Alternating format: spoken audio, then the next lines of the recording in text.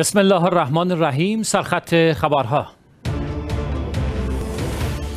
از سرگیری ورود زائران به عراق بعد از آرام شدن اوضاع این کشور.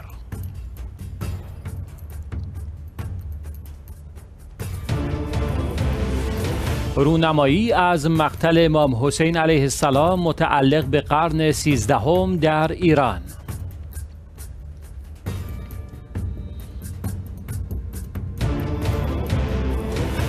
کوچکتر شدن سفره مردم افغانستان در دوران حکومت طالبان.